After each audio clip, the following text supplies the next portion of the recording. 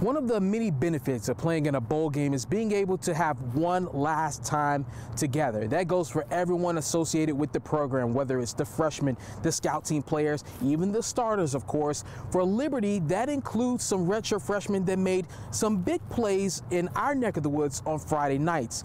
Glenvar's Kyle Hanks had the opportunity, like many of the others on the team, to travel out west here to Glendale, Arizona for the Vrbo Fiesta Bowl. I had a chance to catch up with him just to see how his experience has gone thus far.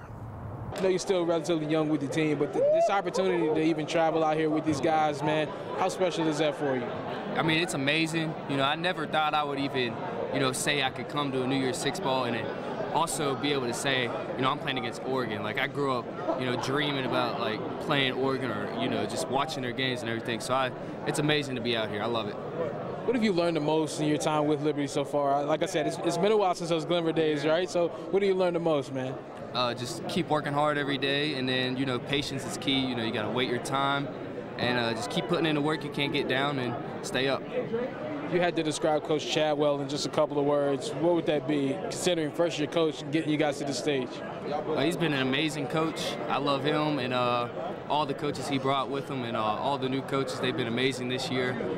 And, um, you know, they got us here. That's why we're here, because of them. You learn a lot from you guys, man. I mean, they teach you Jenga here, or, or you, you know, they learn, you know, learn a little bit more, right? Yeah. What's the most fun thing you guys have done out here so far? I might have to say the, the Suns game we went to last night, going into you know Phoenix, seeing the city and everything. You know that was my first NBA game too, seeing D Book and uh, Kevin Durant, so that was pretty cool.